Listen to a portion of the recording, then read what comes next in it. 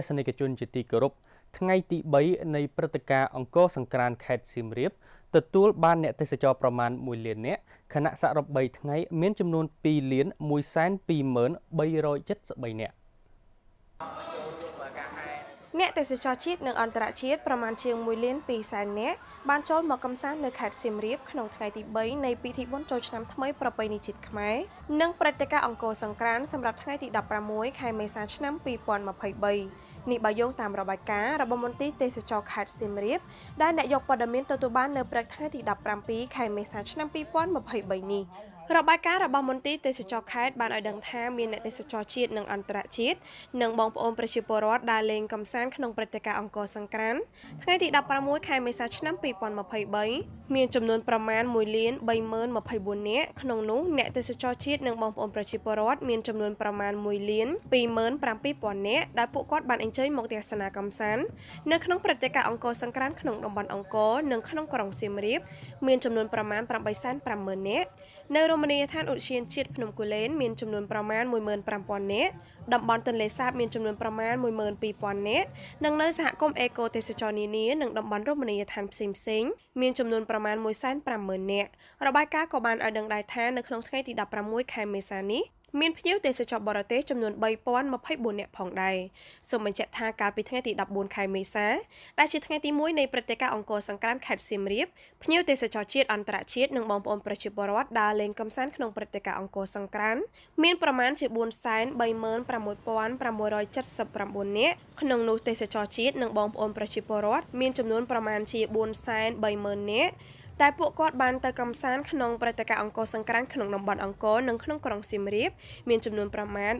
350,000នាក់រមណីយដ្ឋានឧទ្យានជាតិភ្នំគូលែនមានចំនួនប្រមាណ10,000នាក់តំបន់ទន្លេសាបមានចំនួនប្រមាណ5,000នាក់ សហគមន៍ទេសចរអេកូទេសចរនិងតំបន់រមណីយដ្ឋានផ្សេងផ្សេងមានចំនួនប្រមាណ65000នាក់និងភ្ញៀវទេសចរអន្តរជាតិមានចំនួន6679នាក់ដោយឡែកនៅថ្ងៃទី15ខែមេសាដែលជាថ្ងៃទី2នៃព្រឹត្តិការណ៍អង្គរសង្ក្រាន្តមានភ្ញៀវទេសចរប្រមាណជាង653,670នាក់ក្នុងនោះមានភ្ញៀវទេសចរជាតិនិងបងប្អូនប្រជាពលរដ្ឋមានចំនួនប្រមាណជា650,000នាក់ដែលពួកគាត់បានទៅកំសាន្តនៅក្នុងព្រឹត្តិការណ៍អង្គរសង្ក្រាន្តក្នុងតំបន់អង្គរនិងក្នុងក្រុងសៀមរាបមានចំនួនប្រមាណ550,000នាក់រមណីយដ្ឋានឧទ្យានជាតិភ្នំគូលែនមានប្រមាណជា13000នាក់តំបន់ទន្លេសាបមានប្រមាណជា7000នាក់សហគមន៍អេកូទេសចរនានានិងតំបន់រមណីយដ្ឋានផ្សេងផ្សេងមានចំនួនប្រមាណជាង80000នាក់ និងភ្ញៀវទេសចរបរទេសមានចំនួន3679នាក់របាយការណ៍ដដែលបានឲ្យដឹងដែរថាសម្រាប់រយៈពេល3ថ្ងៃនៃពិធីបុណ្យចូលឆ្នាំថ្មីប្រពៃណីជាតិនិងព្រឹត្តិការណ៍អង្គរសង្ក្រាន្តពីថ្ងៃទី14ដល់ថ្ងៃទី16ខែមេសាឆ្នាំ2023មានភ្ញៀវទេសចរជាតិនិងអន្តរជាតិនិងបងប្អូនប្រជាពលរដ្ឋដើរកម្សាន្តមានចំនួនប្រមាណជា2លាន 1,2373នាក់ក្នុងនោះទេសចរជាតិនិងបងប្អូនប្រជាពលរដ្ឋមានចំនួនប្រមាណជា2លាន1,7000នាក់ក្នុងនោះព្រឹត្តិការណ៍អង្គរសង្ក្រាន្តក្នុងតំបន់អង្គរនិងក្នុងក្រុងសៀមរាបមានចំនួនប្រមាណជា1លាន 750,000នាក់រមណីយដ្ឋានឧទ្យានជាតិភ្នំគូលែនមានចំនួនប្រមាណជា38,000នាក់តំបន់ទន្លេសាបមានចំនួនប្រមាណជា24,000នាក់សហគមន៍អេកូទេសចរនិងរមណីយដ្ឋានផ្សេងផ្សេងមានចំនួនប្រមាណជា295,000នាក់និងភ្ញៀវទេសចរបរទេសផ្ទៃក្នុងមានចំនួន13,373នាក់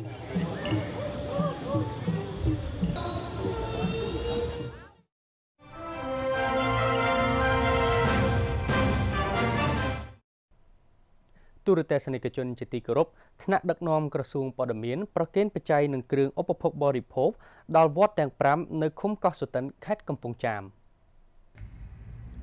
នៅក្នុងឱកាសនៃពិធីបុណ្យចូលឆ្នាំថ្មី ប្រពៃណីជាតិខ្មែរឆ្នាំថោះក្នុងឆ្នាំ2023អាដាមតុនសារ៉ាត់រដ្ឋលេខាធិការក្រសួងព័ត៌មានរួមទាំងអាដាមផុសវណ្ណប្រតិភូរាជរដ្ឋាភិបាលទទួលបន្ទុកអគ្គនាយកនៃអគ្គនាយកដ្ឋានព័ត៌មានសតួ គឺបាននាំយកគ្រឿងឧបភោគនិងបរិភោគរួមទាំងបច្ច័យដើម្បីប្រគេនដល់វត្តចំនួន5រួមមាន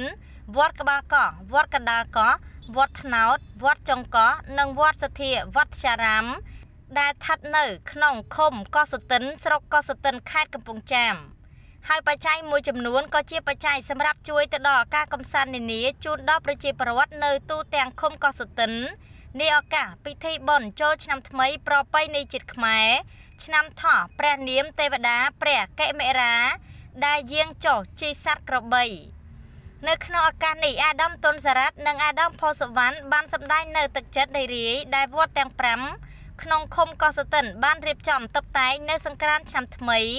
ដែលវត្តនីមួយៗមានរៀបចំលេងល្បែងប្រជាប្រិយនានាការរួមកំសាន្តជាដើម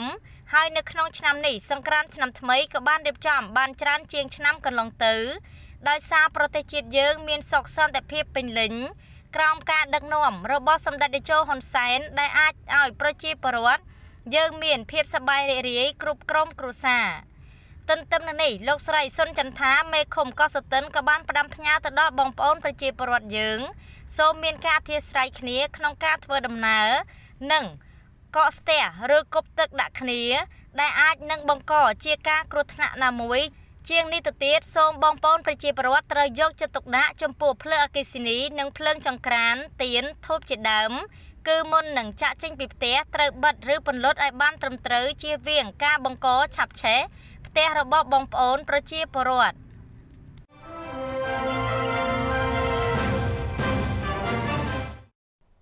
ទូរទស្សនិកជនជាទីគោរពព័ត៌មានជាតិដែលលោកអ្នកបានតាមដានទស្សនានៅពេលនេះចាប់តែប៉ុណ្ណេះជាបន្តសូមអញ្ជើញតាមដានទស្សនាព័ត៌មានអន្តរជាតិខណៈនេះខ្ញុំបាទរួមទាំងក្រុមការងារសូមអរគុណសូមគោរពលា